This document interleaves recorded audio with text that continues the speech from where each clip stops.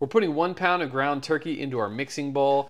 We're gonna add one cracked egg directly on top. We're gonna go about a fourth a cup of grated Parmesan cheese, and that is gonna be a binder that holds all of this together. Get in there with your hands. We're gonna mix all of this up. We're gonna break that egg up, mix up some of that Parmesan cheese, just like that. Let me get some fresh gloves. We're gonna season this generously with some salt.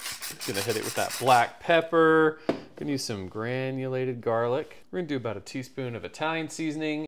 And for color, we're gonna add some smoked paprika. This stuff is so good. Get back in there with your hands. It is so much easier to do it with your hands and it's fun too. I just like that cold turkey on my hands. Just feels super cool. Look at that, you guys. We got our salmonella snowball. We're gonna go directly into our greased cast iron skillet.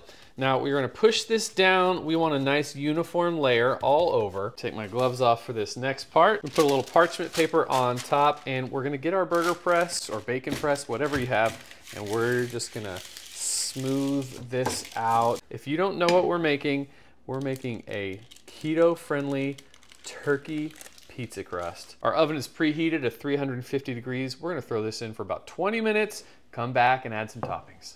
All right, it's been 20 minutes and our turkey crust is nice and crispy. We are gonna add our favorite Little Italy pizza sauce and we're gonna spread it with our little spurtle tool here. Take our oven gloves off here and we're gonna add our mozzarella cheese right on top there, spread that out. And we're gonna put my all-time favorite pizza topping, pepperoni on top. We are gonna get some of these fresh mozzarella balls. Just break them up, squeeze them. You're just gonna sprinkle these like that. We're gonna add some color here with these banana peppers. I love banana peppers. These ones are a little bit sweet with a little bit of heat. My wife's favorite pizza topping, black olives. Sprinkle a few on there. Maybe a ton on there. She loves black olives. Course, we're gonna top it with some Parmesan cheese. This is gonna hold everything together. So technically, this is like a four cheese pizza. We're gonna pop this back in the oven. It's only gonna take about seven or eight minutes. Come back and have some delicious turkey crust pizza.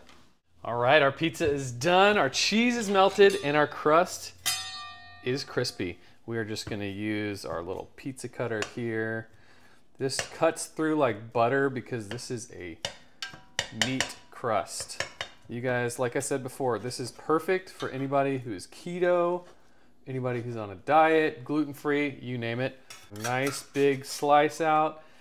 Look at that crispy, beautiful crust. This thing is super hot, but we're gonna give it a try. That is so good.